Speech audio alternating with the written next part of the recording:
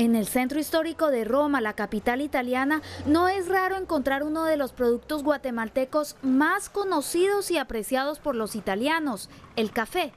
Este bar importa cada año casi 20 mil kilos de café que llega directamente de este país centroamericano.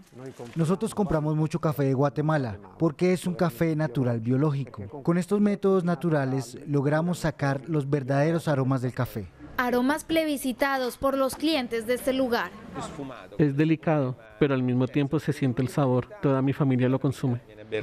Como el café, otros productos guatemaltecos tienen éxito en Italia. Prueba de ello es el aumento de las exportaciones guatemaltecas a la península italiana en los últimos dos años. Las exportaciones guatemaltecas hacia Italia crecieron 12% en total. Y esto creo que se debe también a la preferencia del consumidor italiano hacia productos con, con, certificados de sostenibilidad.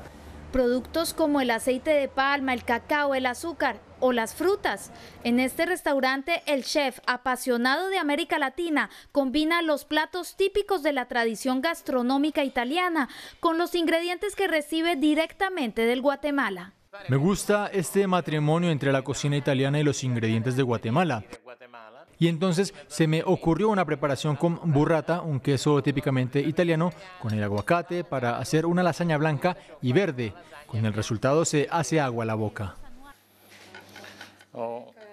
la. Para los clientes del lugar es un descubrimiento verdaderamente inusual. El aguacate se amalgama súper bien con los demás ingredientes. Nunca había probado algo así. Está buenísimo.